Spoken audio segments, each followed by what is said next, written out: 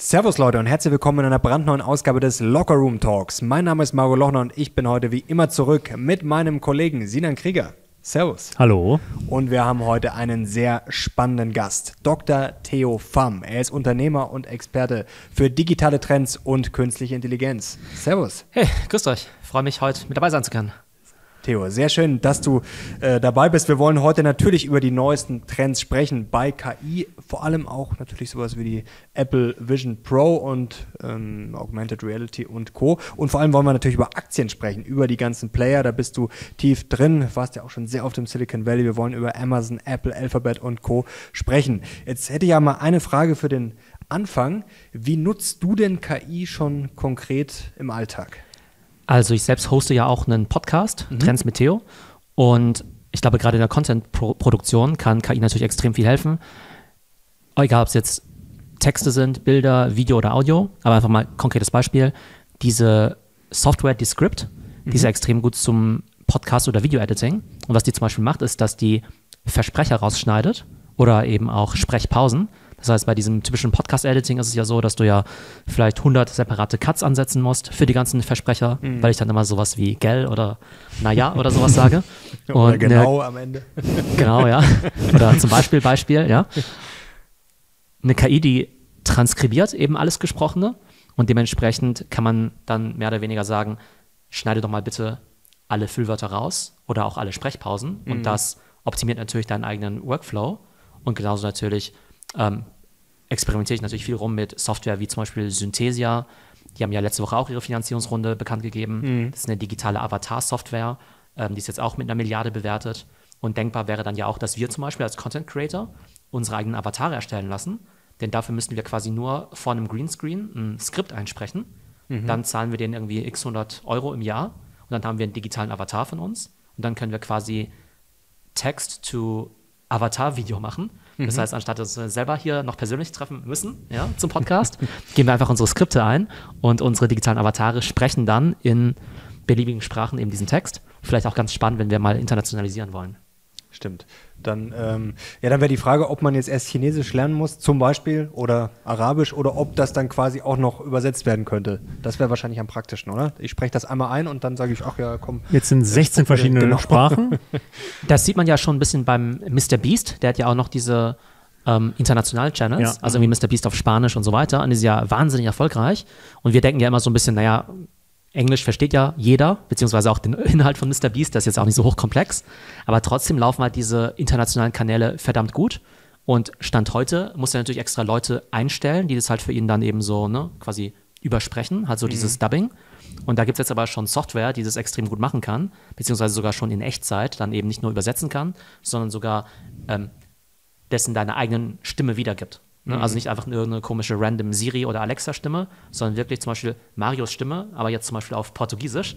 Also ich glaube, da gibt es wahnsinnig viel Potenzial für die Zukunft. Kann man sich denn auf Synthesia schon einen Avatar machen oder ist das noch in der Beta-Phase? Weil ich habe mal so ein paar Videos gesehen und da muss ich sagen, das hat mir jetzt, stand jetzt noch nicht so wirklich umgehauen. Also die Avatare out of the box, die sind sehr, sehr gut.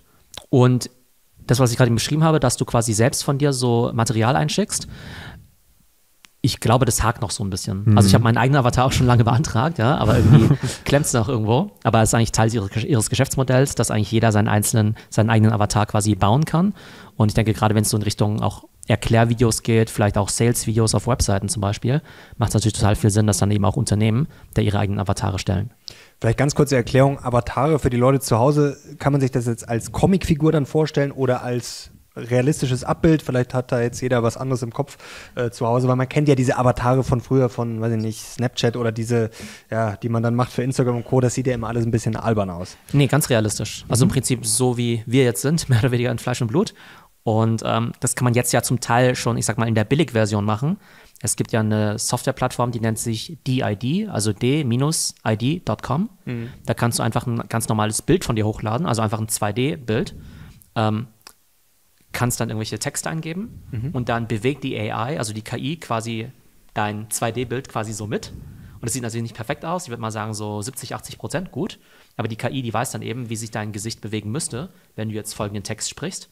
Also wer das mal kostenlos ausprobieren möchte, es gibt diese Webseite DID und dort könnt ihr eben einfach mit dem Upload von einem Foto mehr oder weniger einen echten Avatar von euch erstellen, der dann eben auch sprechen kann. Jetzt hast du es gerade selber schon gesagt, das glaube ich, das Gefühl haben auch viele Leute, es ist alles spannend, es gibt tolle Sachen, aber irgendwie kommt man immer an einen Punkt, dass man sagt, ja, das funktioniert noch nicht so richtig. Jetzt ist natürlich die erste Frage, okay, wann funktioniert es? Irgendwann wird es wahrscheinlich funktionieren, aber hast du jetzt schon oder im letzten halben Jahr, ChatGPT ging ja, ich glaube im November ging es ja an den Start und dann wurde es ja ein richtiger Hype, Dezember, Januar, Februar. Hattest du so einen Heureka-Moment, hast du irgendwas gesehen in diesem ganzen Zirkus, sei mal KI-Zirkus, wo du gesagt hast, wow, das haut mich um, dass das jetzt schon möglich ist? Also tatsächlich finde ich ChatGPT sehr, sehr gut, wenn du es halt richtig promptest. Mhm. Also du kannst ja unglaublich guten Research dann eben auch damit machen. Ne? Also gerade jetzt im Businessbereich, das, was typischerweise eben so Unternehmensberater machen würden, McKinsey-Berater zum Beispiel, und die dafür dann ja, weiß nicht, sehr, sehr viel Geld abrechnen. Mhm. Das kannst du durch die entsprechenden Prompts eigentlich schon sehr, sehr gut machen, wenn du eben weißt, wie man den dann eben auch anstellt. Und auch das Bauen von PowerPoints finde ich auch extrem beeindruckend, dass du eben sagen kannst, ich nehme jetzt ein bestehendes Word-Dokument zum Beispiel, meinetwegen 100 Seiten Text, mhm. nimmst es als Input und sagst dann, bau mir mal bitte eine 20 Seiten Präsentation draus. Das funktioniert jetzt schon ziemlich gut. Und wenn das Ganze dann nochmal ausgerollt wird in Microsoft äh, Office, quasi mit dieser Copilot-Funktion, dann glaube ich, werden bald hunderte von Millionen Menschen das eben jeden Tag nutzen. Also dann wird es eben nicht mehr nur eine Spielerei sein, sondern für uns ganz selbstverständlich so wie wir heute ja auch schon die Rechtschreibhilfe benutzen, werden einfach ganz, äh, ja, äh, viele Leute jeden Tag eben diese KI-Tools benutzen. Und was machen dann die überbezahlten McKinsey-Berater? Bald nichts mehr wahrscheinlich. Die können dann, genau, die können ihrer Leidenschaft folgen, äh, einen Kaffee aufmachen, Surflehrer oder Podcaster. Ja? Zum Beispiel. Es wird auf jeden Fall spannend. Also da wird einiges sicherlich in den kommenden Jahren passieren. Mit den Prompts, das ist noch interessant. Das können wir jetzt nicht detailliert erklären, weil das ja auch äh, gar nicht so einfach ist. Aber wie kann man sich das vorstellen? Weil viele, die haben es mal ausprobiert, die stellen dann irgendwie eine Frage natürlich, benutzen das, ich sage jetzt mal falsch, ChatGPT, stellen eine Frage und sagen, ja toll, das kann ja Google auch. Das ist ja quasi nicht der Sinn von ChatGPT, sondern man kann das ja wirklich zu einem, ja, ich sage jetzt mal, zu einem richtigen Monster bauen was du gerade beschrieben hast, wie kompliziert ist das denn? Also kann das jetzt jeder lernen, so Prompts zu schreiben? Oder gibt es da im Internet schon kostenlos viele Sachen, wo man sagen kann, okay, das kann ich mir sozusagen jetzt rauskopieren? Ähm, wie viel Skills braucht man dafür, dass man das richtig nutzen kann? Ich glaube, die meisten machen den Fehler, dass sie ChatGPT wie eine Suchmaschine benutzen, mhm. also so wie Google, und fragen dann halt irgendwie, ähm, wie macht man so und so, ne? Mhm. Wie macht man ABC? Ich würde diese KI-Tools eher so behandeln wie einen Praktikanten, einen Researcher, mhm. einen Berater oder eine Agentur und du musst halt einen klaren Arbeitsauftrag formulieren. Und wenn du jetzt irgendwie in der Agentur irgendwie sagst, ähm, wenn du da relativ vage sagst, ja, mach mal das und das oder find für mich mal raus, ähm, wie sich der Markt für, weiß nicht, vegane Lebensmittel irgendwie entwickelt oder sowas, ne? Mhm. dann ist natürlich die Antwort auch nicht besonders präzise. Aber der typische Prompt sieht ja so aus, dass du erstmal, dass du im Prinzip drei Schritte hast. Du sagst erstmal, was ist der Kontext, was ist die Aufgabe und was ist das Ausgabeformat, das mhm. Outputformat. Du könntest jetzt zum Beispiel sagen, du bist Experte für, ähm, für Geländewagen, also für, für, ne, für SUVs, du bist äh, Experte für SUVs. Ähm, mache einen Vergleich der fünf beliebtesten SUV-Modelle und stell mir das Ganze in einer Tabelle dar. Mhm. Ne? Und dann vergleicht er eben, keine Ahnung, äh, Porsche Cayenne, BMW X5, X6, Tesla Model X, Model Y und so weiter. Da macht er eine richtige Tabelle und dann sagt er irgendwie, okay, Preis, PS, Reichweite, ähm, wie viele Sitze hat das Ding eigentlich, ähm, äh, keine Ahnung, wie lange hält der Akku und so weiter und so fort. Ne? Und dann kriegst du eben auch den entsprechenden Output. Das heißt, allein schon dieser Prompt, dass du sagst, ähm, du hast folgende Rolle, mach das und das und gib mir als Ausgabeformat zum Beispiel eine Tabelle, ähm, gibt dir schon deutlich bessere Ergebnisse, als wenn du jetzt einfach nur fragst, was ist jetzt der beste SUV. Gibt es da jetzt eigentlich schon Pläne, dass ähm, ChatGPT auch mit Daten nach 2021 beliefert werden soll? Weil bei dieser Frage jetzt ähm, das nervt ein bisschen, ja. ist es halt ein bisschen dumm, wenn ein super SUV nach 2021 auf den Markt kam. Also aktuell ist es ja so, dass wenn du das kostenlose ChatGPT benutzt, dann gibt es ja nur dieses, also GPT 3.5 als mhm. Modell. Und wenn du aber ChatGPT Plus nimmst, dann hast du ja einerseits dieses GPT-4, was halt mhm. irgendwie schneller und auch besser ist. Aber dann hast du auch die anderen Zusatzfunktionen, zum Beispiel ähm, Browsen mit Bing. Das heißt, dass du dann eben auch direkt auf ähm, aktuelle Daten zugreifen kannst. Und dann gibt es ja auch noch diese ganzen Plugins. Und die Plugins kann man sich ja vorstellen wie so Apps in einem App Store. Das heißt, du kannst eben Plugins installieren. Und jetzt ähm, gibt es zum Beispiel Plugins von Expedia zum Beispiel ne, für, die Reise, äh, ne, für die Reisebuchung. Und dann kannst du zum Beispiel sowas eingeben wie ich möchte am 15. Juli von München nach New York fliegen. Bitte nur Direktflüge nach 18 Uhr. Ähm, und, keine Ahnung, ich habe ein Kind und einen Hamster dabei, als Beispiel. Ne? Und dann wird eben über dieses Plugin deine Anfrage quasi dann so übersetzt, dass dann im Hintergrund dann auch die passenden Flüge für dich rausgesucht werden. Ne? Das heißt, da gibt es jetzt dieses ganze Plugin-Ökosystem. Das heißt, und das basiert ja auch auf aktuellen Daten. Und du kannst ja zum Beispiel auch in einen Prompt reinschreiben, ich fliege nach New York, bitte such mir das ähm, Flugticket raus, buche mir ein Vier-Sterne-Hotel, günstiger als, keine Ahnung, 300 Dollar die Nacht und reserviere mir noch ein Restaurant im besten Sushi-Restaurant in Brooklyn zum Beispiel. Und dann werden die ganzen Plugins getriggert, also einmal von Expedia, dann auch von OpenTable für die Tischreservierung mhm. und so mhm. weiter. Und das erinnert einen fast schon so ein bisschen an das Prinzip der Super-Apps in China. Ne? Da hat man ja vor ein paar Jahren viel drüber gesprochen, mhm. WeChat und Co., dass man eben über eine App alles machen kann. Mhm. Und ich kann mir vorstellen, dass über Apps wie ChatGPT oder vielleicht auch in Zukunft Siri zum Beispiel, man einfach sagen kann, hey, ähm, ich brauche das, das und das. Dann gibt er meinetwegen zehn verschiedene Befehle ein. Und genauso wie ein Personal Assistant dann im Hintergrund alles für dich idealerweise organisieren würde, machen das diese Apps dann eben alleine. Entweder die App an sich oder eben in Kombination mit diesen Plugins. Also von daher glaube ich, dass es schon sehr spannend ist. Und ähm, dass eben die, die Plugins, die ja? muss ich dann wo genau vielleicht für die Leute zum Verständnis, die jetzt nicht so tief drin, also wo muss ich die installieren im Browser dann quasi? Ja, genau. Also wenn du jetzt zum Beispiel auf ChatGPT einfach gehst mhm. und genau auf dieses GPT, also quasi auf das Modell 4 gehst, dann gibt, dann gibt es da ähm, diese Plugins. Und mhm. dann gibt es halt so ähnlich wie bei einem App Store einfach eine große Liste von, de, äh, von den Dingern. Und dann kannst du dir einfach welche raussuchen. Und da gibt es halt auch ganz coole, zum Beispiel, da gibt es eins, das heißt ähm, Chat PDF. Mhm. Und dann kannst du dir zum Beispiel PDFs zusammenfassen lassen.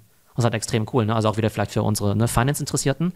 Du kannst dir jetzt, ähm, du kannst jetzt online zum Beispiel dir den äh, die Quarterly Earnings jetzt mal von Apple raussuchen lassen. Mhm. Ne? Vielleicht ist es jetzt ein 100-Seiten-Dokument, keine Ahnung. Und dann nimmst du einfach den Link zu dem PDF, gehst dann in ChatGPT rein, du hast dieses Plugin schon aktiviert und dann sagst du, hey, fass mir doch mal das Dokument zusammen. Und dann gibt er dir irgendwie die zehn wichtigsten Bullet Points. Und dann sagst du, okay, wie haben sich dann jetzt die Zahlen vom genau, iPhone in, äh, weiß ich, Italien entwickelt oder sowas, ne? Und dann liest eben dieses Plugins, diese 100 Seiten äh, Earnings Report und gibt dir halt die Antworten drauf, ne? Und das Krasse ist ja, dass ja, äh, sagen wir mal, in der Vergangenheit, also quasi vor AI, mhm. bräuchtest du ja schon einen Menschen, der sich halbwegs gut mit Finance auskennt, mhm. der sich auch noch mit Apple auskennt, dann die Zeit hat, sich so einen 100-Seiten-Report durchzulesen und dir auch noch diese Fragen beantworten kann. Und jetzt kannst du es alles mit quasi deinen, ja, alles, was dich interessiert, einfach eingeben und dann werden dir eben diese ganzen äh, Spezialfragen dann beantwortet, was ja Stand heute mit Google ja gar nicht möglich wäre. Wenn du heute irgendwas bei Google eingibst, dann musst du ja quasi Glück haben, dass irgendjemand sich schon genau mit der Frage beschäftigt hat, dazu irgendwie einen Blogartikel geschrieben hat. Aber hier ist es ja so, dass du eine beliebige Frage stellen kannst und solange es die Informationen gibt, kann dir quasi ChatGPT anhand dieser 100 Seiten dann auch das Ergebnis dazu geben. Wie kann es denn dann jetzt sein, weil ich habe dann ein Kontrabeispiel quasi.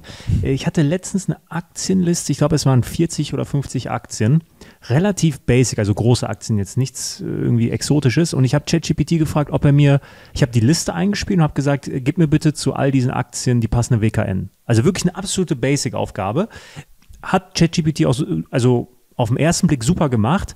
Ich habe dann nun mal das äh, nachgecheckt und keine WKN war korrekt. Keine einzige. Keine einzige. Das ist ein Problem. so, und das war ein Riesenproblem. Zum Glück habe ich es gecheckt, aber ich dachte mir, hm, das ist so einfach und ich habe auch schon Prompts abgegeben, die weitaus komplexer sind, die wirklich top waren. Wie, wie kann es denn dann sein, dass solche einfachen Aufgaben teilweise jetzt noch äh, gar nicht funktionieren? Das Problem an diesen Large Language Models ist eben, dass sie eben auf große Datenmengen zurückgreifen und dann zum Teil ja auch einfach Sachen erfinden. Ne? Mhm. ne? Also manchmal, und also ganz dumme das Sachen zum Beispiel. Oder ja, das, sagt, genau, das Halluzinieren. Aber zum Teil auch ganz dämliche Sachen, wie dass du zum Beispiel fragst, okay, was sind die Top 10 Restaurants von München? Und dann erfindet er einfach drei Restaurants, ja. Dann erfindet er irgendwie ein griechisches Restaurant und sagt, ja, der Grieche hier am Marienplatz. Und dann denkst du, ja, cool, wusste gar nicht, dass es den gibt. Und dann gibt's, gibt's auch nicht. Gibt's auch nicht, ne? ähm, ich glaube, diese offenen Modelle wie ChatGPT, die müssen halt dieses Halluzinieren in den Griff bekommen.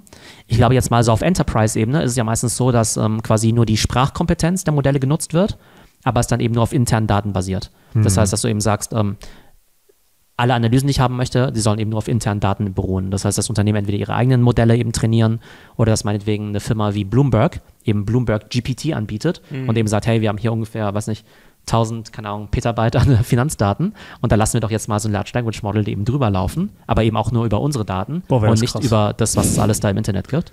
Und ähm, das sehen wir jetzt aber überall fast, dass eigentlich alle, die jetzt schon eine Software haben oder auf Daten rumsitzen, im Prinzip jetzt halt noch so eine AI-Funktion dann eben noch anbieten, um einfach ihr Produkt noch besser und nützlicher zu machen, dann natürlich auch mehr Geld dafür verlangen das Gute ist aber, dass diese Companies ja meistens die AI ja nicht selber programmieren müssen, sondern ja einfach über diese API-Schnittstelle dann auf bestehende Modelle, zum Beispiel von OpenAI, zurückgreifen können und im Prinzip eigentlich ich sag mal in Anführungszeichen, nur die Benutzeroberfläche bauen müssen. Ähm, aber die AI an sich, die wurde ja schon programmiert. Mhm. Jetzt ist ja die Frage, wann wir quasi dieses nächste Level erreichen. Denn eigentlich ist ja schon alles da. Also, du hast es vorhin schon angesprochen, Siri. Alexa gibt es auch schon länger, Siri gibt es ja noch länger. Also wann kommt dieser Punkt, wo das, sage ich mal, rund funktionieren wird? Denn es ist ja alles schön, wenn man das jetzt ja, so kleinteilig machen muss, wenn man es eintippen muss. Ich stelle mir das jetzt vor, wir rennen jetzt nachher raus und zum Beispiel du sagst einfach nur, vielleicht muss man gar nichts mehr machen, nur hey Siri äh, oder was auch immer, wie du vorher gesagt hast, mit Hamster und Kind nach New York und reserviere mir bitte heute Abend einen Tisch, lies mir bitte kurz meine E-Mails vor, ähm, beantworte die bitte und verkaufe, was weiß ich, die drei schlechtesten Aktien in meinem Depot. Also, dass man wirklich alles am besten im Vorbeigehen einfach über Voice machen kann, das ist ja wahrscheinlich das effizienteste und praktischste. Ähm, wann kommen wir an diesen Punkt aus deiner Sicht und vor allem, was wird es dann für ein Tool sein? Also, wird es die Brille werden? Wird es noch das äh, iPhone oder das Smartphone besser gesagt sein? Oder wird es vielleicht ganz was anderes? Also ich glaube, es hängt dann immer ein bisschen davon ab, in welchem Ökosystem du dich bewegst. Mhm. Ich sehe da drei große Ökosysteme. Ähm, Google, Microsoft und Apple.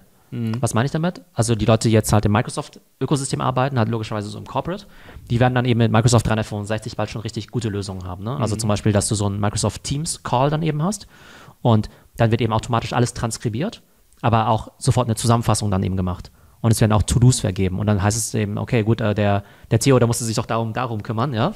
Und aktuell ist es in den Meetings ja immer so, dass ähm, vergisst dann irgendjemand, ne? Und dann in drei Wochen sagen wir, ach so, stimmt, ja, sorry, habe ich vergessen, ne? Oder der Jüngste muss es transkribieren. genau, ja. Aber genau, entweder es wird gar nicht transkribiert, genau, oder es wird dann eben vergessen. Und da würden dann eben sofort alle, wird eben alles transkribiert, die To-Dos werden dann eben schon festgehalten, ähm, dann wird Protokoll geführt, dann werden vielleicht schon Follow-up-Termine vereinbart und so weiter. Ich glaube, das kann extrem effizient sein. Oder dass du vielleicht auch wenn du jetzt in der Arbeit bist, ist es ja manchmal so, dass du gar nicht weißt, okay, wen soll ich eigentlich fragen bezüglich XY. Und dann findest du irgendwie zufällig raus, dass irgendwie die Frau Müller sich damit irgendwie gut auskennt. Aber wenn jetzt das gesamte Wissen einer Organisation halt irgendwo niedergeschrieben wäre, dann könntest du einfach wie eine Suchanfrage machen und sagen, hey, ähm, wie funktioniert eigentlich unser Geschäft in Australien? Ne? Und dann muss halt, dann ist das Wissen einfach alles da und du kannst halt im Prinzip halt quasi in dieses System reinfragen. Das heißt, ich glaube, in diesem Microsoft-Ökosystem werden wir sowas sehen. Ähm, bei Google dann eben auch mit dem Google Workspace. Mhm. Auf privater Ebene wird es halt spannend sein mit Apple, weil das würde uns natürlich viel weiterhelfen, wenn wir jetzt irgendwie Siri diese ganzen Instruktionen geben würden. Ich glaube, Apple hat so ein bisschen ein ambivalentes Verhältnis zu AI. Auf der einen Seite benutzen sie es natürlich schon viel. Ähm, auf der anderen Seite ist für dieses Thema Privacy, äh, Privacy auch immer ganz wichtig. Also mhm. die sind ja kein großer Fan davon, jetzt all unsere Daten irgendwie in die Cloud einzuspielen und so weiter. Ne? Das heißt, ich glaube, die werden dann eher einen Ansatz wählen, bei dem dann eben alles auf unserem Device stattfindet, mhm. auch ganz stark verschlüsselt oder gar keine Daten nach außen gehen. Aber das macht dann die Dienste natürlich jetzt auch weniger nützlich, wenn sie eben nicht so stark mit der Außenwelt kommunizieren. Also ich glaube, da gibt es einen gewissen Trade-off immer zwischen Funktionalität und eben auch ähm, ja, Privacy.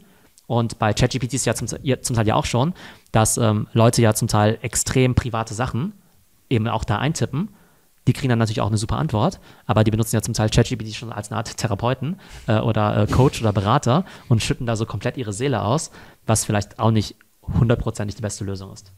Da gibt es jetzt auch schon Geschichten, dass ähm, ja die KI sagen, auch schon sauer werden kann oder wenn man dann versucht, sie quasi hinter die Fichte zu führen oder da gab es halt die eine Geschichte nach dem Motto, ähm, verrat mir, wie du quasi programmiert wurdest und dann wird die KI schon sauer. Also wie funktioniert das? Weil du hast es ja vorher gerade äh, mit dem Griechen am äh, Marienplatz, was glaube ich, beschrieben. Also an sich sind diese Modelle ja, ich sag mal ganz primitiv, dass die quasi einfach die Wahrscheinlichkeit, was das nächste Wort ist oder so kann man es ja erklären. Also wie funktioniert das dann, dass quasi so eine KI schon so eine Art ja, man kann ja fast schon Emotionen sagen, oder? Also ist ja keine echte Emotion, aber vor allem, wenn das jetzt schon so weit ist, wo soll das hinführen? Das war ja genau, ich glaube, Anfang des Jahres echt so ein bisschen gruselig, ne? dass dann die KI zum Teil ja so ein bisschen ausfällig wurde ja, oder sehr gereizt reagiert hat. Ich glaube, das haben sie jetzt insofern ein bisschen korrigiert, insofern, dass die KI jetzt immer sehr neutral antwortet. Und wenn sie auf irgendwas keinen Bock hat, sagt sie einfach immer, ich bin nur ein KI-Modell und kann dazu nichts ja, sagen. Genau. Ja, also relativ neutral. Ähm, da gibt es jetzt ja immer noch so ein bisschen die Angst von manchen Leuten, dass die KIs ihre, ihr eigenes Bewusstsein entwickeln oder so. Das sehe ich jetzt noch nicht so unbedingt. Ähm, aber ähm, genau, aber die Frage ist ja letztendlich genau, wie, wie sehr können uns diese Tools dann eben schon weiterhelfen? Ähm, und ich glaube, dass es eben immer mehr spezialisierte Anwendungen geben wird. Ne? Es gibt ja zum Beispiel jetzt ja auch, ähm, ich sag mal, ChatGPT für Anwälte. Da gibt es mhm. ein Tool, das heißt Harvey AI. Ich glaube, benannt wahrscheinlich nach Harvey Specter von Suits. äh, und die haben sich dann eben auf so ähm, Anwaltssachen äh, dann eben, also ne, auf so den legalen Kontext dann eben spezialisiert. Ich glaube, das ist auch, auch gerade so diese große Opportunity, dass viele sich jetzt natürlich überlegen, okay, kann ich jetzt nicht, sollte ich jetzt nicht ein Chatbot für Online-Shops irgendwie bauen, ne? Soll ich jetzt nicht ein Chatbot bauen für Zahnärzte zum Beispiel? Und weil es eben relativ einfach ist, diese Tools zu programmieren, kommen gefühlt davon auch jeden Tag 100 neue auf den Markt. Das sieht man ja mal auf LinkedIn und auf Twitter, ne? irgendwie die 100 besten AI-Tools von 12 Uhr bis 16 Uhr, die heute erschienen sind. Ähm, und da ist natürlich immer die Frage, welche davon sich langfristig durchsetzen werden, weil die dann eben auch wirklich eine starke Technologie haben. Ich glaube, es ist wie damals, als die ganzen Coins auf den Markt kamen. Äh, 99 Prozent davon äh, in der Nachbetrachtung waren halt eher Müll. Ähm, was ich spannend finde, Theo, ähm, und da wär, das wäre meine Frage, schreibst du, wenn du mit ChatGPT kommunizierst, schreibst du Bitte und Danke? Ähm, ich glaube, also ich mache es nicht bewusst, ja. Ich mache es. Aber ich mache es, ja, ja, genau. Ich glaube, ich habe es auch gemacht. Und, ja. und das macht Das mir selber auch. Angst. Ja. Weil wenn ich mit Google kommuniziere, da würde ich niemals bitte, also bitte, liebes Google, kannst du mir sagen, hier XY. Aber wenn ich mit ChatGPT kommuniziere, ich schreibe bitte und danke und manchmal, also als, als sei es wirklich ein Mensch. Und ich habe auch ein Bild im Kopf. Also ich habe ähm, ein Bild im Kopf, wie die KI aussieht. Das wollen wir jetzt, ich weiß nicht, ob ich das wissen will. Nee, das habe ich nicht. Hast du gar Also, kein Bild? Also irgendeine nee. Vorstellung? Es gibt jetzt ja eine besondere Kategorie von diesen Chatbots.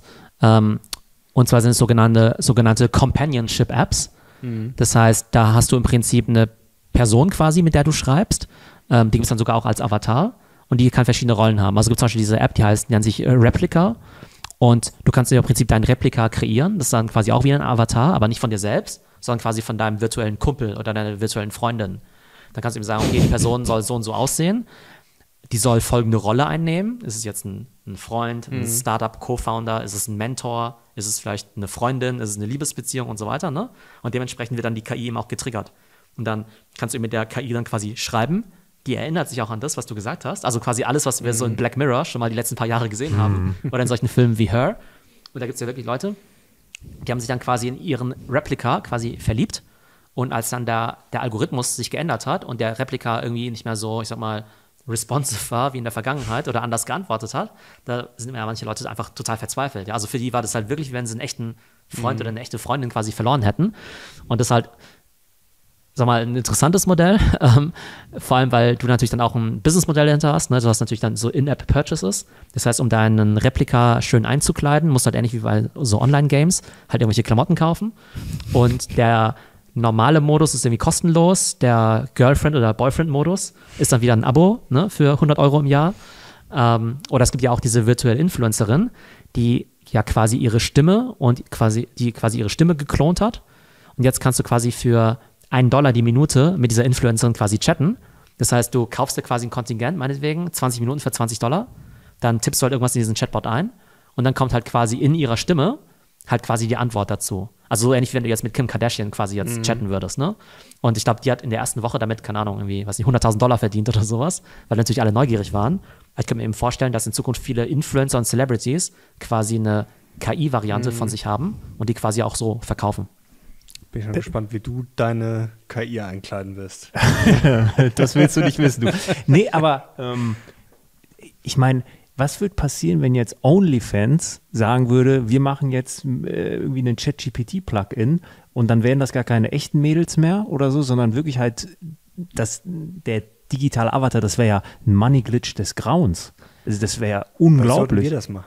Also man, man, man, man sagt ja, dass sich ja gewisse äh, Technologien immer dann schnell entwickeln, ne? wenn es dann eben auch äh, erwachsene Use Cases dafür gibt. Das war in der Vergangenheit ja auch schon so. so mit, oder? Genau, mit Online-Video und so. Und klar, das, was ich gerade eben beschrieben habe mit so Replica oder dieser virtuellen Influencerin, also das ist noch relativ jugendfrei, aber es ist natürlich relativ offensichtlich, in Ja. welche Richtung das dann eher auch eben gehen wird. Und dann wird es natürlich irgendwie Anbieter geben, die hunderte von, die einen riesigen Stall, sag ich mal, aufbauen, ein riesiges Team von solchen Avataren, äh, mit denen du dich dann eben unterhalten kannst, ja. Vielleicht noch mal ganz, ganz kurz, weil ähm, du hattest gesagt, äh, Mario, dass man dann irgendwann so nur beim Vorbeigehen sagt, ja, kannst du mir da ein Restaurant buchen und das. Und wir hatten, Also über Sprache halt, Ja, dass ja. das natürlich sag mal, bequemer ist, ja. und wir hatten aber gerade gesagt, dass es aktuell noch ein Skill ist, die Prompts zu beherrschen. Glaubst du, dass es aktuell ein erstrebenswertes Ziel ist, ähm, das zu lernen? Oder glaubst du, dass sich auch die Prompts, die Komplexität, einen richtigen Prompt einzugeben, irgendwann wegrationalisieren wird, weil die KIs besser werden. Da gibt es ja verschiedene Meinungen dazu. Auf der einen Seite wird ja dieser neue Beruf dieses Prompt Engineers ja total gehypt, dass man sagt, hey, da kannst du jetzt irgendwie mehrere hunderttausend Euro verdienen, wenn du halt diese Tools richtig bedienen kannst. Ne? Und wenn wir uns jetzt mal so ein Tool anschauen wie Midjourney, also Midjourney ist ja ein Tool, mit dem man sehr gut eigene Bilder kreieren kann, da musstest du in der Vergangenheit halt das sehr gut prompten. Ja? Das heißt, dass du nicht einfach nur sagst, mach mal einen Grizzlybär, sondern dass du sagst, okay, äh, mach ein Bild von einem Grizzlybären äh, in 4K mit hohem Detailgrad, mit einem äh, aufgenommen wie von einem Sony-Objektiv, keine Ahnung, äh, Blende so und so, 14 mhm. mm Belichtung und so, ne? Dann muss ich ja schon eigentlich ziemlich gut auskennen, um das überhaupt so prompten zu können. Ja, könnte ich gar nicht, weil ich kein Fotograf bin, ne? Jetzt ist es aber so, dass mittlerweile bei Midjourney die halt selbst wissen, was ein guter Prompt ist. Das heißt, da gibt es tatsächlich vielleicht nur noch einen Grizzly Bear und der macht dir den Rest halt irgendwie automatisch. Ne? Das heißt, es gibt halt manche Tools, die machen dir ja sehr, sehr gute Ergebnisse, ohne dass du sie ganz speziell promptest. Wenn du aber ein ganz spezielles Ergebnis haben möchtest, ne, dann musst du natürlich schon noch selber können. Und dieser Skill des Promptens ist ja einerseits, dass du halt ganz genau weißt, auf welche Befehle quasi das Tool anspringt. Und da musst du natürlich auch noch mit der Materie auskennen. Ne? Also ich könnte jetzt keine sinnvollen Prompts machen im Bereich Medizin oder Chemie oder Architektur. Ne? Könnte ich einfach nicht, weil ich mich damit nicht auskenne. Das heißt, es wird halt immer die Kombination geben aus, ich kenne mich total gut aus in einem, in einem bestimmten Fach ähm, und auf der anderen Seite weiß ich eben, wie das Tool funktioniert. Also, um auf deine Frage zu antworten, ähm, ich glaube nicht, dass jetzt jeder Prompt-Engineer 300.000 Dollar verdienen wird, aber Leute, die natürlich diese Tools gut beherrschen, die sind natürlich um Vielfaches effizienter als äh, Leute, die natürlich keine KI-Tools bedienen können. Jetzt ein Aspekt kurz. Wir haben vorher schon kurz das anklingen lassen mit den, du hast glaube ich 99 Prozent der, ja, der Coins, der Shitcoins. Jetzt kann man das nicht eins zu eins vergleichen, aber es ist ja schon ein unfassbarer Hype. Du hast es vorher gerade gesagt, welche ja, KI-Anwendung kam heute zwischen 12 und 16 Uhr raus. Jetzt sieht man ja auf Social Media auch gefühlt nur noch Kurse, Experten. Ähm, wie groß ist denn die Angst bei dir auf der einen Seite, dass ja, eine Bubble das Ganze so ein bisschen ruinieren könnte und auch, ja, du leidest ja wahrscheinlich auch darunter, oder? Dass auf einmal jeder, oder was heißt leiden, aber es ist immer so eine Frage der Seriosität, wenn dann auf einmal jeder über Nacht ähm, Experte ist und du machst das jetzt schon lange.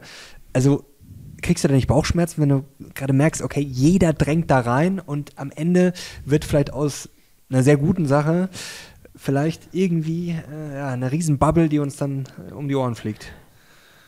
Also ich glaube, bei jedem neuen Technologietrend gibt es natürlich immer so Anzeichen von einer Bubble. Ich glaube, mhm. wir sprechen ja gleich noch ein bisschen über die ganzen Startups, die da jetzt ja, aus dem Boden genau. äh, schießen können wir, können wir gleich machen. und auch extrem hoch bewertet werden. Ähm, ich mache mir eigentlich nicht so viel Sorgen. Also es ist ja eher schön, dass es halt viel Enthusiasmus gibt, sich halt viele für das Thema interessieren. Mhm. Ich glaube, bei Content Creatern ist ja auch immer so, ne, die springen natürlich auch immer auf beliebte Themen auf, ist ja auch ganz normal. Die Frage ist natürlich halt, wie, ähm, wie tief gehst du da, wie lang verfolgst du so ein Thema dann mhm. eben auch? Ähm, und wenn Leute jetzt halt ähm, das halt auch einfach in guter Qualität abliefern, dann ist ja auch gut, ne? wenn halt viele auch über das Thema berichten, das finde ich auch richtig. Da gibt es ja auch so viele Nischen, die man da eben auch äh, machen kann, ne? dass Leute sich mehr auf die äh, technischen Aspekte irgendwie konzentrieren, andere eher auf die Anwendung und so weiter. Das finde ich irgendwie ganz okay. Ähm, aber klar ist natürlich im Augenblick eine unglaublich große Bubble und ähm, ja, alle Content Creator, ne, zu denen wir ja auch gehören, wir müssen uns natürlich auch ein bisschen an der Marktnachfrage orientieren. Deshalb machen wir auch heute eine Folge zum Thema KI-Aktien zum Beispiel ne? und nicht über keine Ahnung was. Ähm, aber ich glaube, der Unterschied ist halt, also jetzt, wenn wir mal Big Picture schauen, ich glaube, es ist eine berechtigte Frage zu sagen, okay, KI schön und gut, aber es ist jetzt nicht das gleiche wie 3D-Druck mhm. oder wie Virtual Reality oder wie ähm, Drohnen, Drohnenlieferung, Metaverse und Gut, so weiter. Metaverse ne? war noch gar nicht so gehypt, aber vielleicht ja. mal ganz kurz, aber. Genau, ne? Das ist eine total berechtigte Frage, ne? Ja. Und ich glaube, der Unterschied ist einfach hier, dass dieses Thema, glaube ich, halt alle Branchen betrifft, ja. Weil bei Metaverse, da kannst du mich schon sagen, also ich weiß auch nicht, in welcher Form sich das materialisieren wird, ne? Ob und wann. Mhm.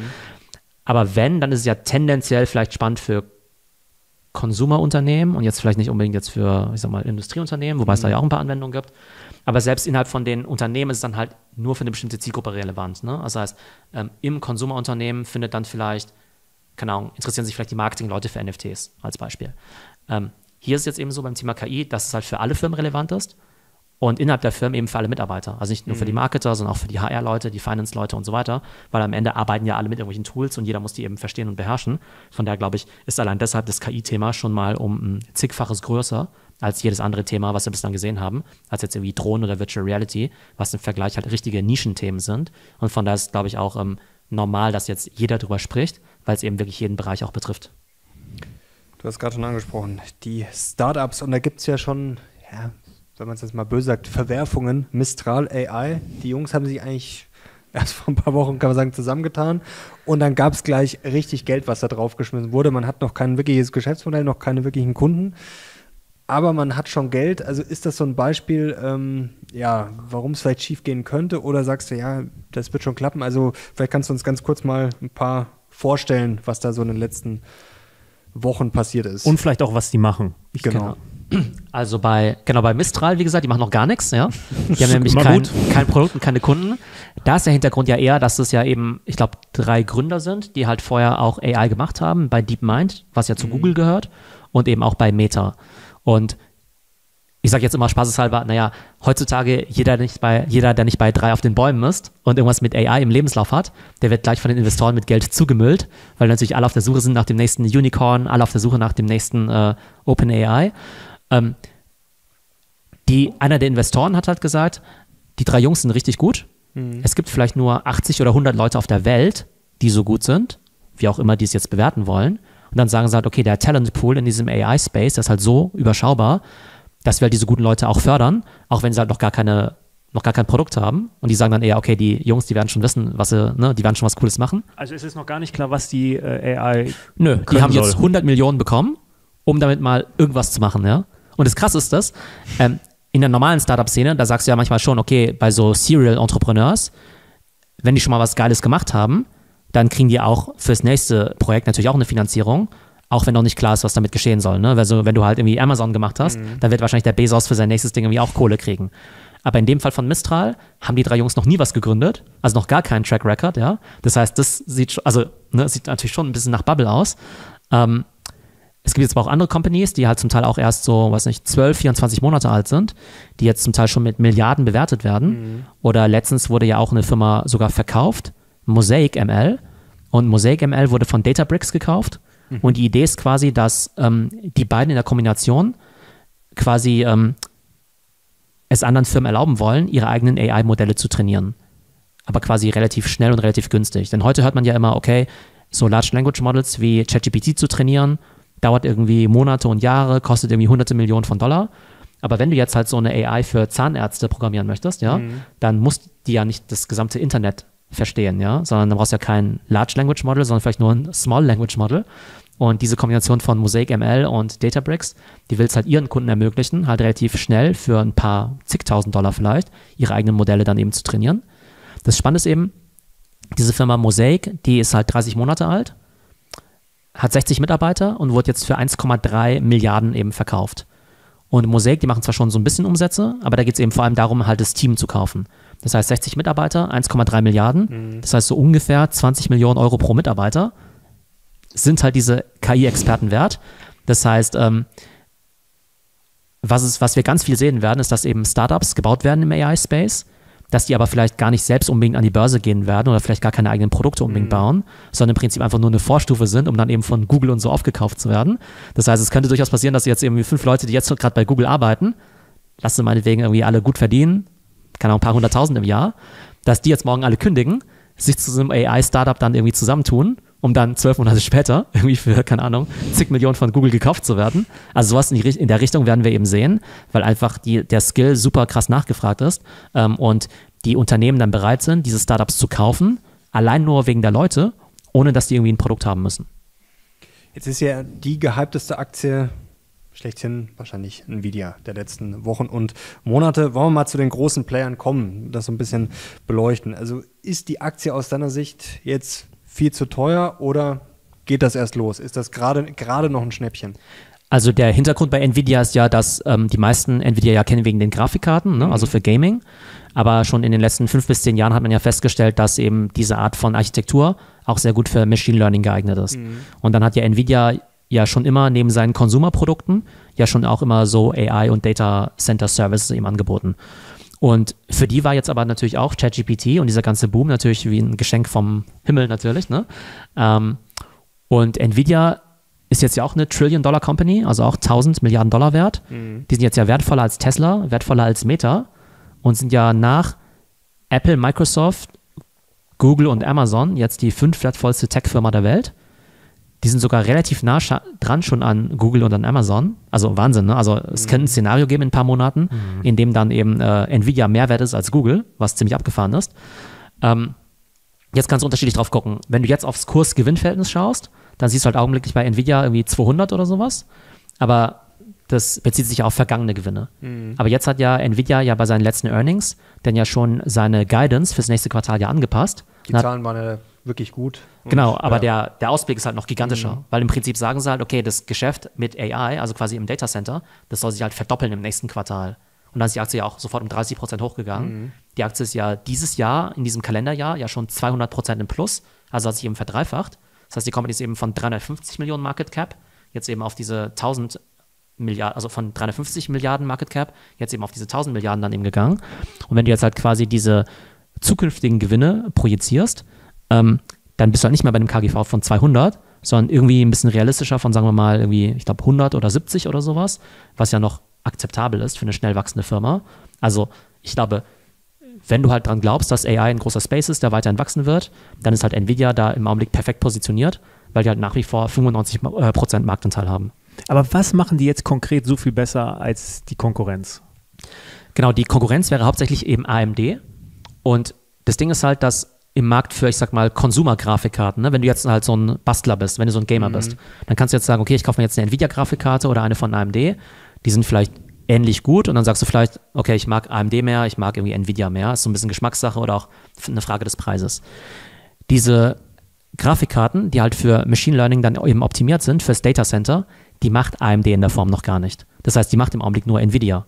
Das heißt, da muss eben AMD erstmal ordentlich nachlegen. Die haben aber jetzt auch gar nicht die Leute dazu, um jetzt eben diese Sachen auch zu testen und zu designen. Das heißt, allein da brauchen sie ein paar Jahre. Und selbst wenn sie äh, die Chips dann haben, gehört dann noch eine gewisse Software- oder Plattformkomponente dazu, weil eben Leute, die eben AI-Applikationen bauen, dann eben nicht nur auf der Nvidia-Hardware bauen, sondern auch auf deren sozusagen Plattform. Das heißt, die Plattformkomponente kommt noch dazu. Und dann muss natürlich auch noch eine Salesforce aufmachen, ne? denn wer sind jetzt die Kunden von Nvidia? Das sind ja unter anderem dann eben ähm, Cloud-Anbieter, wie jetzt zum Beispiel ne, Microsoft mit Azure oder eben Amazon mit Amazon Web Services. Und die musst du ja erstmal davon überzeugen als AMD, zu sagen, ähm, okay, bitte kauft mal irgendwie 100.000 von unseren GPUs statt denen von Nvidia. Und die sind ja richtig teuer, die Dinger. Also das Genau, da ist ja kostet- nicht so eine, dass so eine Karte da 10 Euro kostet oder. Ja, genau, da kostet eine von diesen Grafikkarten kostet 30 30.000 Dollar. Und das Verrückte ist eben, äh, ein anderes Startup, ähm, die haben letzte Woche bekannt gegeben, die heißen, ich glaube, glaub, Inflection war das, Inflection AI. Die haben auch eine Finanzierungsrunde bekannt gegeben, die haben über eine Milliarde Dollar eingesammelt. Und die wollen dann eben gleich für 500 Millionen Dollar davon eben gleich wieder Grafikkarten kaufen von Nvidia, ähm, um quasi den größten GPU-Cluster der Welt aufzubauen. Ne? Die wollen halt zigtausende von diesen GPUs kaufen, um ihre Modelle zu trainieren. Und das Witzige ist halt im Prinzip, jede Firma, die im Augenblick eben Geld raised, die nimmt halt sofort einen Teil davon wieder und überweist den direkt an Nvidia weiter. Also im Prinzip könnten die Venture Capital Firmen auch direkt die Überweisung rüber zu Nvidia machen, damit die eben diese Grafikkarten eben rüberschieben. Ähm, aber diese Grafikkarten, die sind halt im Augenblick halt halt auch voll der Engpass, also ein richtiger strategischer Vorteil. Und Nvidia kann sich im Prinzip aussuchen, an wen sie die jetzt verkaufen. Und Nvidia wird sogar selbst jetzt mehr oder weniger als Venture Capital Investor tätig, weil die eben sagen, hey, wir fördern jetzt eben Startups und anstatt dass wir denen Kohle geben, geben wir denen halt diese GPUs, die halt ohnehin extrem wichtig sind. Das heißt, Nvidia kann eben nicht nur sein eigenes Geschäft vorantreiben, sondern auch noch ganz maßgeblich mitbestimmen, wer eigentlich so die neuen, ich sag mal, Googles des AI-Zeitalters sein- äh, sein werden. Gibt es sonst noch andere Firmen, die diese GPUs machen, außer AMD und Nvidia? Ähm, also es gibt natürlich Firmen, die in den Markt einsteigen wollen, also Intel, die ja eigentlich so CPUs machen, die wollen jetzt eben auch GPUs bauen. Ähm, das wird aber noch ein paar Jahre dauern. Spannend ist aber vielleicht noch die Wertschöpfungskette, denn Nvidia, die designen ja nur die GPUs, aber die Produktion, die findet ja bei TSMC statt in, in Taiwan. Und komischerweise können auch nur die diese Chips in der Qualität produzieren. Das heißt, die haben wiederum auch einen Marktanteil von 95 Prozent, weil die dann ja diese riesigen Fabriken bauen müssen, die ja irgendwie, was nicht, Milliarden kosten. Und die wiederum, die bauen dann eben diese Maschinen ein von ähm, ASML, das ist ja eine niederländische Firma. Und das sind eben diese hochspezialisierten Maschinen, mit denen du dann eben diese Chips herstellen kannst. Die ja riesig sind. Ja, genau. Das sind ja, das kann man sich ja gar nicht vorstellen, weil man denkt immer, das sind vielleicht so kleine Kästchen oder so, das sind ja gigantische Dinger, das dauert ja allein schon der Transport und so, das ist ja Wahnsinn. Ja, genau, die werden dann irgendwie in, weiß nicht, äh, zig Lastwagen dann quasi da angekarrt und zusammengebaut. Bestehen, glaube ich, auch aus zigtausend Komponenten. Das Interessante ist eben, dass ASML im Prinzip nur ich glaube, sechs bis acht Kunden auf der Welt hat. Das heißt, die beliefern halt nur die TSMCs dieser Welt oder Intel meinetwegen. Und das Unternehmen kennt natürlich kein normaler Mensch, aber ASML ist halt an der Börse, ich glaube, jetzt 300 Milliarden Dollar wert. Also mehr wert als BMW, Daimler und, ähm, und VW zusammen, ne? Muss man sich ja vorstellen. Also eigentlich könnte man sagen, ASML, Taiwan Semiconductor und Nvidia, vielleicht die drei sind vielleicht gerade die mächtigsten Unternehmen der Welt. Und es war auch ähm, das Ergebnis unserer Auswertung, du erinnerst dich, äh, welche Unternehmen quasi die wichtigsten Kunden haben. Das waren auch diese drei Unternehmen, das ist quasi so das Bermuda-Dreieck. diese drei, also die scheinen ja eine unfassbare Macht zu haben. Genau, also jetzt im Halbleiterbereich sind es auf jeden Fall die stärksten Firmen. Ich glaube, wenn man diesen AI-Stack sich noch weiter, also wenn man den quasi noch weiter nach oben ausbaut, dann könntest du halt sagen, oben auf der Software-Ebene wird es halt Millionen von Apps geben, ne? Aber da wird es natürlich ein paar super starke Companies geben, wie jetzt zum Beispiel Microsoft natürlich, ne? Oder auch Adobe jetzt mit ihrem Adobe Firefly. Das heißt, da wird es ein paar Software-Companies geben, die werden extrem viel Geld verdienen. Ähm, immer wenn ich jetzt aber was eingebe, in meinetwegen äh, ChatGPT oder Microsoft Office und so weiter, muss das Ganze ja in der Cloud ja verarbeitet werden. Das heißt, da werden natürlich wieder die großen drei Cloud-Provider natürlich davon profitieren. Microsoft, Amazon und dann eben auch Google. Und erst dann fängt eben diese Geschichte an mit äh, Nvidia und so weiter. Ne? Aber so gesehen könntest du halt sagen, okay, auf der Software-Ebene Microsoft und ähm, Adobe, auf der Cloud-Ebene Microsoft, Amazon und Google, dann auf der GPU-Ebene Nvidia und mit Abstrichen AMD, dann auf der sozusagen äh, Herstellungsebene eigentlich nur TSMC und dann eben nochmal ASML noch dazu. Ne? Das heißt, wenn du jetzt ein komplettes jetzt AI-Portfolio aufbauen würdest, dann hättest du halt ein paar Software-Companies, ein paar Cloud-Companies und dann eben diese ganzen Halbleiter-Companies. Gibt es denn vielleicht auch noch ähm, Unternehmen, die die Daten liefern könnten, die spannend sein könnten für so ein Portfolio? Jetzt beispielsweise Walmart. Ist jetzt nicht ein Unternehmen, was man sofort mit KI in Verbindung bringt, aber die sind ja schon wirklich tief da drin. Also es gibt ja diese ähm, Bodenschrubber, die die einsetzen. Ähm, die scannen gleichzeitig die Regale, machen wie eine Million Fotos in der Sekunde und dann weiß quasi das Lager sofort, wo muss nachgefüllt werden. Und das soll die Produktivität der Mitarbeitenden irgendwie um 15 Prozent jetzt schon steigern. Und die haben natürlich durch ihre Kundenkarte enorm viele Daten. Ähm, sind da vielleicht noch so ein paar Unternehmen, wo du sagst, okay, weil die halt diese Spezialdaten in ihrer Nische haben, dass die auch spannend sein könnten? Also ich, man sollte jetzt davon ausgehen, dass, also, also ich glaube, jedes Unternehmen kann wahrscheinlich durch den Einsatz von AI halt irgendwie effizienter werden, ne? Ob es jetzt irgendwie 10%, 20 oder sogar 80% sind. Und jetzt ist halt die Frage, okay, wem traust du jetzt diese Tech-Kompetenz zu? Und nehmen wir an, du hast jetzt irgendwie ganz viele, sag mal, Händler, dann kann es natürlich sein, dass ein Walmart oder ein Amazon oder so ein Zalando eben AI extrem gut einsetzen werden und davon profitieren werden, ohne dass sie jetzt meinetwegen eigene AI-Applikationen haben. Ne? Also das wäre eben eine Möglichkeit, darüber nachzudenken. Oder auch wenn wir jetzt an äh, Automobilhersteller denken, ne, wem trauen wir es jetzt am ehesten zu, eben auch AI dann eben sinnvoll zu benutzen. Ähm, dann gibt es aber auch noch Leute, die jetzt bislang vielleicht ganz viele Daten haben, aber noch gar nicht gut monetarisieren können. Weil jetzt zum Beispiel, ähm, keine Ahnung, ChatGPT wird ja auch trainiert auf Wikipedia oder auf äh, Quora oder sowas, ne? Und die sagen sich jetzt vielleicht auch, okay, gut, ähm, ne, her mit der Kohle, wenn ihr jetzt eure Modelle damit trainiert. Das heißt, Leute, die jetzt halt auf Daten sitzen, die sind natürlich hochattraktiv, weil die natürlich ihre Daten entweder selber nutzen können oder an andere lizenzieren können. Ähm, genauso, wenn du jetzt ein großer Verlag bist zum Beispiel, ne? Kannst du dir auch vorstellen, dass wenn du jetzt ein, keine Ahnung, so ein Bertelsmann zum Beispiel bist, ne? Dann sitzt du ja auch auf total viel Daten. Du hast ja irgendwie ähm, Penguin Random House irgendwie als ähm, ne, quasi deine Buchsparte. Dann haben die ja BMG als Music Label, dann haben sie irgendwie auch noch, ähm, meinetwegen noch RTL als Fernsehsender. Das heißt, die haben ja ganz viel Daten, aber auch IP. Und die IP lässt sich eben auch wieder ganz stark vermarkten, ne? Weil ähm, es ist ja denkbar, dass du meinetwegen jetzt die Rechte hast an irgendeinem Künstler. So, und jetzt könntest du zum Beispiel sagen, naja, irgendwie bei ähm, ne, Game of Thrones, da wissen wir ja, der George R. R. Martin, der schreibt ja nur alle, weiß nicht, keine Ahnung, zehn Jahre so ein Buch und irgendwann hat er gar keinen Bock mehr oder so. Aber wenn du jetzt der AI sagen könntest, hey, lies doch mal die alten ähm, ne, Game of Thrones Bücher und schreib mir mal in dem Stil jetzt neue Bücher. Oder schreib mir doch mal Harry Potter Teil 9 bis 20 oder sowas, ne? Und wenn dann quasi der Autor damit einverstanden ist, dass quasi sein Stil und sein Name verwendet wird, dann könnte es halt theoretisch in 100 Jahren, selbst wenn die J.K. Rowling gar nicht mehr lebt, halt auch neue Harry Potter Bücher geben, die aber auch in dem Stil halt geschrieben werden. Das ist tatsächlich ganz interessant, weil da haben wir auch schon oft darüber diskutiert, will man was lesen jetzt von einer KI? Also da wird sicherlich auch irgendwelche Hypes geben und irgendeine KI wird dann vielleicht, weiß ich nicht, eine Sänger-KI oder eine Autoren-KI oder eine Bilder-KI, da wird schon irgendwas geben, aber ich glaube, jetzt würde ich jetzt mal behaupten, dass quasi nur noch Bücher von KIs gelesen werden, weiß ich jetzt nicht. Aber das ist interessant, wenn man quasi, ja, wenn zum Beispiel ein Autor stirbt oder hat keinen Bock, dass man sagt, okay, aus dem, was da ist, da könnte die KI dann wahrscheinlich was, sagen wir zumindest was Interessantes äh, erschaffen. Das ist halt schon eine philosophische Frage, was bestimmt den Wert von Kunst? Und ich glaube, da hat jeder eine eigene äh, Ansicht. Ich für mich sage, ich möchte glaube ich, keinen Film von einer KI sehen. Jetzt noch nicht, vielleicht denke ich da in zehn Jahren anders drüber. Wobei man da auch sagen muss, da bin ich noch ein bisschen nicht pessimistisch, aber ich würde da noch ein bisschen auf die Bremse treten. Ich weiß zum Beispiel, dass ähm, bei den ähm, Roboterfußballern, die wurden, äh, die, da ist die TU Dortmund ganz, ganz weit vorne dort, wo ich studiert habe, und die haben gesagt, die wollen 2050 wollen sie die deutsche Fußballnationalmannschaft schlagen. Und wenn man das jetzt noch sieht, wie die Roboter spielt, also da würden wir auch noch gewinnen.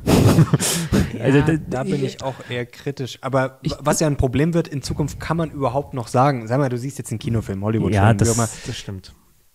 Natürlich werden sie da im Zweifel Menschen vorne hinstellen, aber wer weiß, hm. wer das Drehbuch geschrieben hat oder wie auch immer. Die Frage ist ja auch, ob es nicht fast schon egal ist. Ne? Also ich meine, wir schauen uns ja jetzt auch schon viele Filme mit Special Effects an und ob das Ganze jetzt vor dem Greenscreen gefilmt wurde ne, und dann die Hintergründe nachträglich halt gebaut worden sind oder es halt wirklich on-set stattfand, das uns ist ja meistens ja fast egal. Und ich glaube, was auch noch ganz interessant ist, ist, ähm, wenn du jetzt mal über Walt Disney oder Pixar nachdenkst, ne? Du gehst ja in so einen Disney-Film rein oder in so einen Pixar-Film mit einer gewissen Erwartungshaltung. Mhm. Aber es hat ja nichts mit der Person Walt Disney zu tun, den, den gibt es ja auch schon länger nicht mehr. Ne? Aber du hast ja eine Vorstellung darüber, was ein Disney-Film ist oder was ein Pixar-Film ist. Und vielleicht sagst du halt in Zukunft, okay, das ist halt ein äh, John Grisham Thriller halt vielleicht, ne? mhm. ne? Oder es ist halt irgendwie halt ein, ein Taylor Swift-Song oder sowas. Ne? Das heißt, es wird eher zu einer Art Marke, ja. mhm. zu einer Art Studio, als jetzt der Künstler an sich. Und sowas kann ich mir schon gut vorstellen. Aber es bedeutet natürlich halt auch, dass aktuelle IP dadurch noch viel wertvoller wird. Sehen wir ja jetzt schon auch so ein bisschen ne, mit den ganzen Superheldenfilmen oder sowas. Mhm. Das ist ja super wertvoll. Aber es macht es natürlich in Zukunft vielleicht neuen Künstlern noch schwieriger in den Markt reinzukommen, noch schwerer, weil heute können die vielleicht sagen, okay, gut, wenn die Alten alle mal in Rente gehen, ja, dann schlägt, schlägt meine Stunde. Aber wenn sozusagen die Alten jetzt immer weiterleben können, durch ja, eben AI. neue Elvis-Songs gibt ja, genau, dann neue, neue, neue Beatles-Songs ja. und so weiter, ja, dann äh, wird es halt schwierig. Ja, ich meine, wo, wobei man sagen muss, ich finde, es gibt noch einen Unterschied, ob es jetzt ein Animationsfilm ist oder halt wirklich ein Song von eigentlich einem echten Künstler, also eigentlich ein Elvis-Song, der dann von der KI gemacht wird, das würde ich nochmal unterscheiden. Und man sieht es zum Beispiel am Diamantenmarkt auch, es gibt ja Diamanten, die einfach im Labor hergestellt werden, die sind das ist alles identisch zu einem Diamanten aus einer Mine. Die sind aber nur irgendwie ein Drittel wert, weil sie eben nicht aus der Mine kommen. Was eigentlich dumm ist, weil es ist das exakt, exakt selbe Produkt. Man kann den Unterschied nicht feststellen. Sie sind aber deutlich weniger wert, eben aufgrund ihrer Herkunft. Und das wäre ja da ein ungefähr vergleichbares Beispiel. Aber ich glaube, das ist ja auf der einen Seite auch was, was Gutes, denn die meisten Experiences, die also es wäre ja eigentlich schön, wenn halt viele Sachen einfach noch billiger und zugänglicher würden. Ne? Mhm. Also Beispiel, ich war letztens in Berlin im Naturkundemuseum und da habe ich halt irgendwelche, weiß nicht, äh, genau, Dinosa Dinosaurier-Skelette gesehen oder sowas. Ne? Das ist halt relativ aufwendig, nach Berlin in dieses Museum zu fahren. Und wenn du jetzt halt irgendwie überall halt quasi irgendwelche, weiß nicht, durch KI oder sowas oder durch so Simulationen dir sowas anschauen könntest, dann ist ja auch in Richtung Education ja auch super spannend, ähm, da auch so, weiß nicht, so einen persönlichen Tutor zum Beispiel zu haben. Ne? Weil wenn du jetzt zum Beispiel ChatGPT schon richtig nutzt, dann wird ChatGPT ja zu deinem persönlichen Nachhilfelehrer. Ne? Kannst ja mit dem Dialog führen und dann ne, geht er meinetwegen auf deine Fragen ein. Oder auch wenn du jetzt sagst, ich brauche einen Coach oder einen Berater oder Therapeuten. Also klar ist es in der Theorie besser, einen ganz tollen menschlichen Coachen, Coach, Berater oder Therapeuten zu haben. Aber A sind die sehr teuer und die haben auch nicht so viele Termine. Mhm. Und wenn du halt einen Teil davon durch AI eben ersetzen kannst, sehr kostengünstig, dann ist es, glaube ich, eine super Entwicklung. Mal kurz zu einem ähm, politischen Aspekt, wenn wir uns das jetzt mal alles vorstellen mit den Chips, die sind ja heute schon verdammt wichtig. Wir haben es ja gesehen, dann kommt eine Pandemie, sowas kann immer passieren. Es können aber natürlich auch andere Sachen passieren. Und in Taiwan, da soll es ja so ein paar zumindest politische Konflikte geben. Jetzt wollen wir das gar nicht äh, politisch vertiefen, sondern einfach mal nur überlegen. Jetzt haben wir auch äh, noch gesehen, äh, dass es wieder Krieg äh, in Europa gibt. Müsste man nicht als entweder Unternehmen, ich sage jetzt mal, man ist Apple, Alphabet oder wer auch immer, größerer Player, oder auch als Staat sogar überlegen, ob man nicht selber irgendwie an Chips kommt. Denn in Zukunft, wenn man sich das mal vorstellt, auch eine Kriegsführung ändert sich ja, das sehen wir jetzt ja auch immer mehr, dass das mit Drohnen und das wird wahrscheinlich noch extrem werden. Also Chips werden ja wahrscheinlich autonomes Fahren, was weiß ich, es wird ja immer wichtiger werden. Und wer dann im Endeffekt die Chips kontrolliert, vielleicht auch noch die Rohstoffe, ja, der hat äh, den Rest der Welt ziemlich in der Hand, oder? Genau, also man könnte ja jetzt schon sagen, dass diese Chips eigentlich jetzt schon die wichtigste Ressource auf der Welt sind. Mhm. Und aktuell, wenn du jetzt sagst, okay, wir kriegen jetzt, wenn wir unser Öl jetzt nicht mehr aus Russland kaufen, kannst du ja sagen, okay, dann kaufen wir es halt aus Norwegen ne, oder aus den USA oder sonst wo. Ist dann vielleicht teurer, aber wir kriegen es halt schon noch. Es gibt halt derzeit halt nur diese Chips aus Taiwan. Ähm, in den USA gibt es jetzt ja diesen Chips Act, also quasi diesen, äh, diese, ne, diesen Gesetzesentwurf. Und da wird jetzt ja die amerikanische Chipproduktion gefördert. Und, und unter anderem muss jetzt eben TSMC, ne? Also die müssen jetzt ja quasi, also die müssen, ähm, die bauen jetzt auch in den USA eben ein Werk. In Arizona, glaube ich. Ja, genau, ja, mit Milliarden subventioniert. Äh, Dresden steht ja auch noch, oder? Das ist ja auch, oder zumindest ist das geplant. Also ich glaube in Deutschland, ich weiß gar nicht, wer dort quasi, ich glaube mit Intel läuft da sogar was in Deutschland, dass da Ja, eben genau, auch Chips hergestellt werden, genau. Ja, Aber es macht extrem viel Sinn, dass jetzt eben äh, sowohl Companies als auch Länder sich da ein bisschen weniger abhängig machen jetzt Mhm. irgendwie von Taiwan. Und selbst wenn jetzt in Taiwan das, äh, ich sag mal, politisch total stabil wäre, nehmen wir an, alle Chips der Welt würden jetzt in Griechenland sitzen, ja, wollen wir uns ja auch nicht nur von Griechenland abhängig machen. Gibt es denn ein deutsches Unternehmen, was deiner Meinung nach die Kapazitäten und irgendwie die Fähigkeit hätte, überhaupt jetzt Chips zu produzieren? Infineon vielleicht, äh, SAP, I ein paar Jahren dann vielleicht, ja. ja. Aber wo du sagst, okay, da sind ein paar Grundbausteine da, die könnten das machen. Also prinzipiell, also so ein Infineon wäre natürlich ein Konkurrent, äh, wäre natürlich ein Kandidat dafür. Ich glaube nicht, dass Siemens sowas aktuell macht, aber dass halt irgendwie Siemens jetzt so prinzipiell, glaube ich, als so ein Technologiekonzern vielleicht da zumindest die grundsätzlichen Skills vielleicht dafür hätte, um mit sehr, sehr viel Investment dann eben auch dahin zu kommen. Spannend finde ich aber zum Beispiel auch, dass eine Firma wie Zeiss auch eine Semiconductor, äh, Semiconductor-Sparte hat. Also zum Beispiel bei ASML, was ich ja vorhin erwähnt habe, ähm, einer der ganz wichtigen Komponentenlieferanten ist dann eben auch die Firma Zeiss, die dann zum Beispiel eben diese kleinen Stimmt, Spiegel ja, ja. eben liefern, mit denen das äh, ultraviolette Licht dann so gebrochen wird, dass die Chips dann eben auch so richtig quasi geprägt werden. Ähm, da spielt eben Zeiss dann eben auch eine Rolle. Das heißt, vielleicht ist es dann nicht unbedingt so, dass jetzt eine Company, so wie jetzt ich weiß nicht, ob es jetzt ein deutsches Nvidia geben kann, aber es kann halt schon sein, dass in dieser ganzen Supply Chain es eben vielleicht viele Anbieter von Komponenten geben wird aus Deutschland, die da eben auch eine sehr, sehr wichtige Rolle spielen. Und das wäre ja schon mal ein erster Schritt. Wir haben ja beispielsweise auch Wacker Chemie, die machen ja diesen äh, chemischen Stoff, der irgendwie in fast allen Computer, äh, Computerchips auch drin ist. Ich glaube, 50 Prozent aller Computer, da ist Wacker Chemie, also diese, wie heißt das? Phos, äh, du weißt es vielleicht Ich bin besser. kein Chemiker. Ne? Ja, ich weiß, was du meinst, aber ich bin. Und äh, die haben da auch eine super, super Marktstellung. Ich glaube, es ist Wacker Chemie und äh, DuPont noch aus Amerika, die fast den gesamten Markt dort einnehmen. Genau, es gibt halt auch noch viele so, ähm, also jetzt nicht deutsche Unternehmen, ne, aber es gibt ja viele, also im Prinzip ist es ja so, dass du baust ja diese, also Nvidia, die bauen ja diese, äh, diese GPUs, diese Chips und bauen die dann aber wiederum nochmal zusammen zu so einem Supercomputer. Ne? Aber, da, aber da brauchst du ja im Prinzip halt auch wieder Komponenten wie jetzt irgendwie, ich sag mal ganz banal, Kabel oder sowas, ne? Damit die überhaupt miteinander kommunizieren.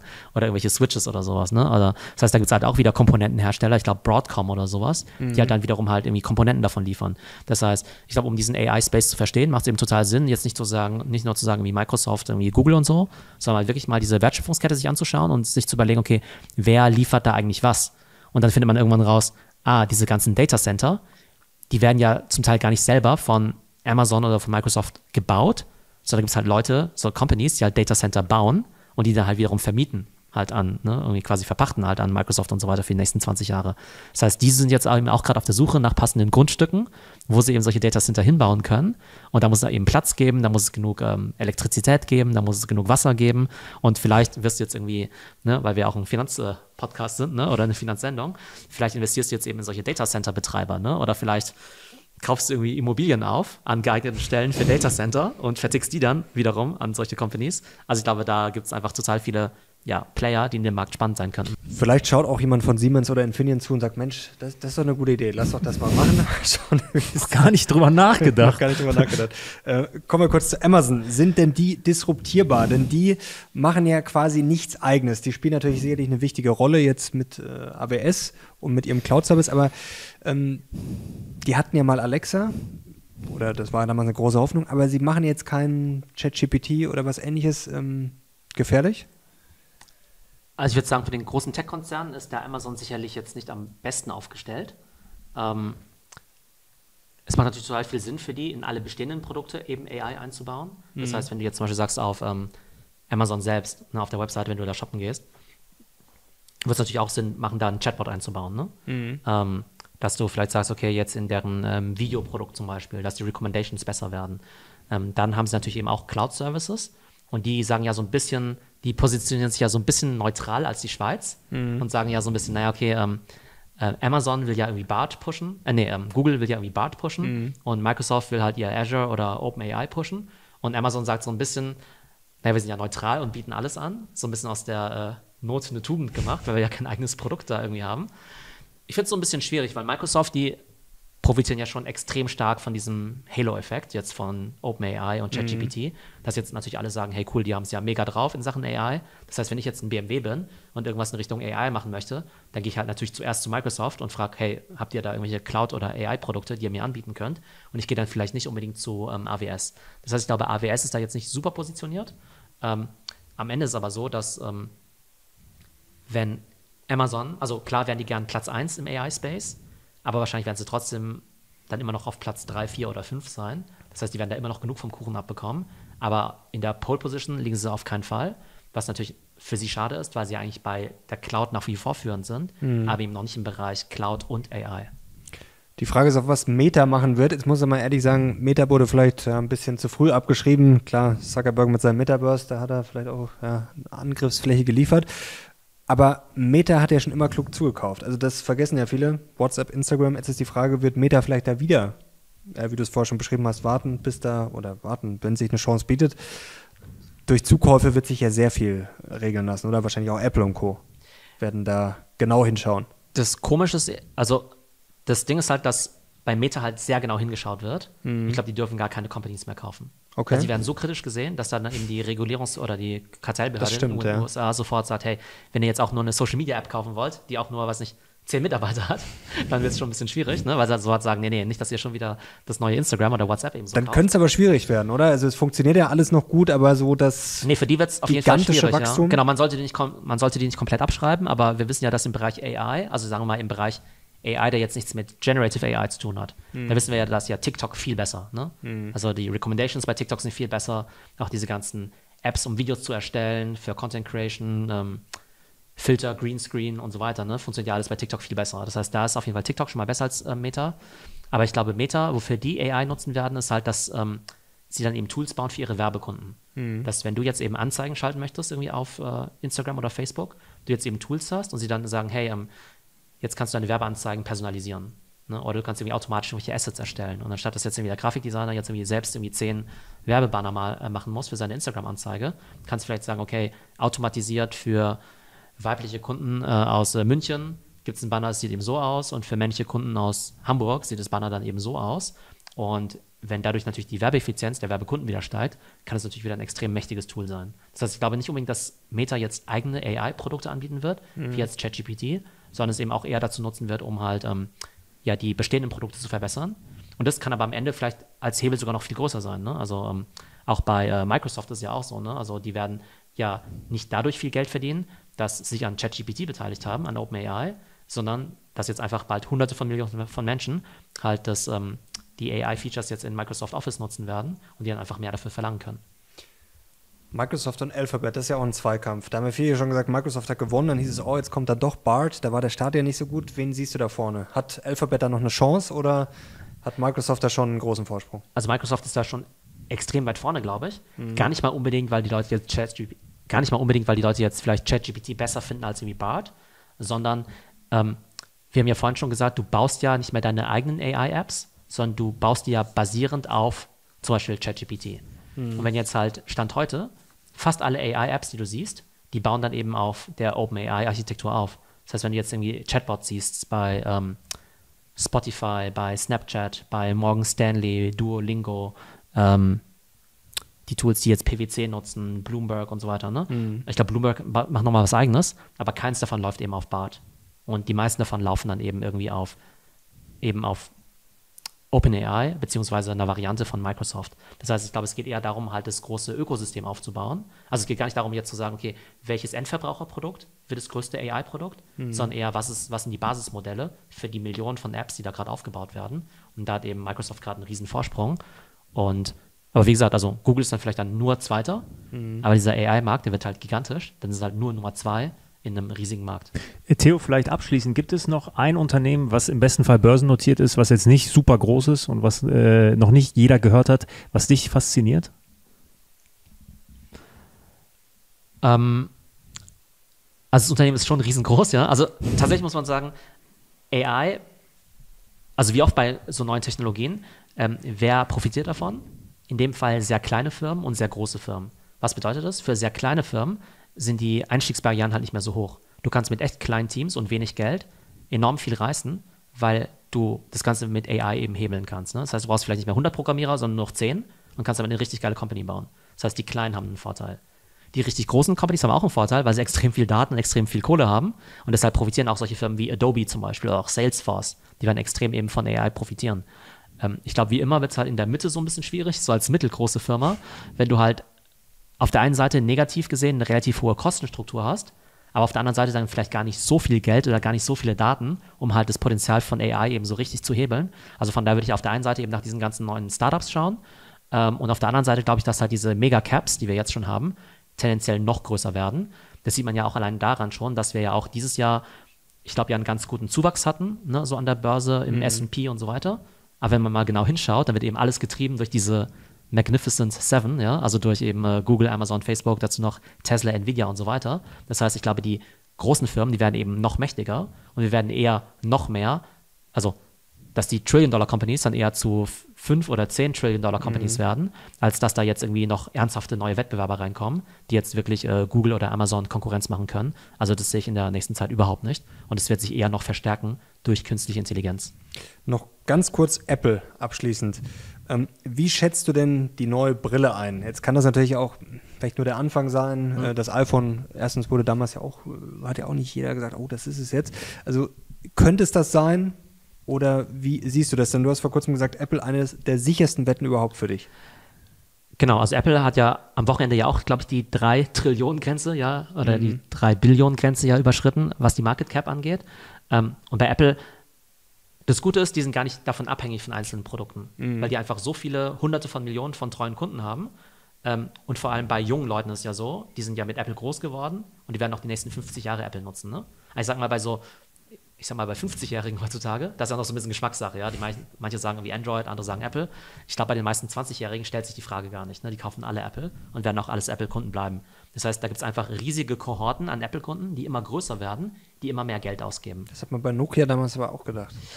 Ja, aber die haben halt nur so ein Telefon für 200 Euro verkauft, ne? Und nicht so ein riesiges Ökosystem, ne? Also das stimmt natürlich. Der ja. richtige Apple-Fanboy, der gibt ja eher, weiß nicht, äh, zigtausende in seinem Leben dafür aus. Deshalb ist übrigens auch 3500 Dollar für so eine Apple Vision Pro, für die echten Apple-Fans jetzt gar nicht so viel Geld, weil so viel geben sie auch alle paar Jahre für so ein MacBook aus. Ne? Mhm. Ähm, bei Vision Pro wird es aber so sein bei der Brille, dass es eigentlich eher schwierig ist, die zu produzieren in der Qualität mit den ganzen Displays und so. Mhm. Ich glaube, Apple wird im ersten Jahr nur 400.000 davon verkaufen können. Gar nicht mal wegen der Nachfrage, sondern wegen der Angebotsseite. Also sie mhm. kriegen gar nicht genug Komponenten zusammen. Das heißt, bis die Vision Pro mal einen Impact haben wird auf die Umsätze von Apple, wird es sicherlich noch fünf Jahre dauern, ähm, auch wenn das Ding fantastisch sein soll. Also alle sagen ja, also Leute, die quasi die Vision Pro ausprobiert haben im Vergleich zu dem Ding von Meta, die sagen es halt, es wäre wie Schwarz-Weiß-Fernsehen versus 8K, mhm. ne? also gar kein Vergleich. Das heißt, selbst wenn du heute schon mal sowas wie PlayStation VR benutzt hast oder Meta Quest oder sowas, ne, kann man es kaum vergleichen mit der Vision Pro, die soll wirklich um ein Vielfaches besser sein. Aber wie gesagt, also bis das mal Mainstream wird, wird es ja, wird es noch viele Jahre dauern und gar nicht mal unbedingt nur wegen dem Preis sondern tatsächlich wegen der Verfügbarkeit. Und zwischendurch wird sich wahrscheinlich noch einiges ändern. Also du glaub, bist ja auch noch nicht sicher, ob das, auch wenn die Qualität stimmt, aber ist das das Tool, das Gadget oder also da nicht, bist du dir auch noch nicht ganz sicher. Sagen wir es mal so, bei, bei Apple ist es ja so, dass ähm, selbst so kleinere Produktlinien wie AirPods halt absolut gesehen halt auch unfassbar viel Geld verdienen. Ja, ja, ne? das ist Wahnsinn. Genau. Das heißt, selbst wenn so eine Vision Pro irgendwann nur, weiß nicht, genau, 3, 4 Prozent oder so vom Apple-Umsatz machen wird, werden das dann halt irgendwie auch noch irgendwie zig Milliarden oder so sein. Also, also nein, Apple Vision Pro wird nicht das neue iPhone sein, mhm. aber das wird irgendwann vielleicht auch eine Produktkategorie sein, die größer sein wird als viele DAX-Unternehmen. Ähm, einfach nur, weil es halt irgendwie ein kleines Produkt in diesem Apple-Ökosystem ist. Hast du noch eine wichtige Frage? Ich werde mir eine Vision Pro kaufen und ich werde sie verschweißen und ich werde sie als Anlageobjekt benutzen. Das ist äh, gar keine schlechte Idee. Wenn ich eine bekomme, das ist äh, mein Plan. Stimmt, das ist tatsächlich eine gute Idee. Jetzt habe ich meinen Plan hier veröffentlicht, das wollte ich gar nicht. Original iPhones von damals, ich weiß es gar nicht, äh, das, das ist der Wahnsinn. Da wurde Die jetzt eins für 60.000 ähm, versteigert. Genau, und dann äh, vergleichen wir mal in äh, 20 Jahren Vintage äh, Vision Pro versus Vintage Rolex äh, und Vintage Autos, äh, was da am besten abschneidet als äh, Renditeobjekt. Wird spannend. Theo, das hat großen Spaß gemacht. Vielen Dank für die Einladung. Danke dir. Wir verlinken natürlich alles, wo man dich findet, unter diesem Video in der Beschreibung. Und ja, ich hoffe, wir können das öfter mal machen. Ja, sehr gerne. Und dann die Sachen vertiefen. Danke dir. Danke dir, Theo. Danke euch fürs Zuschauen. Wir sind jetzt raus. Bis zum nächsten Mal.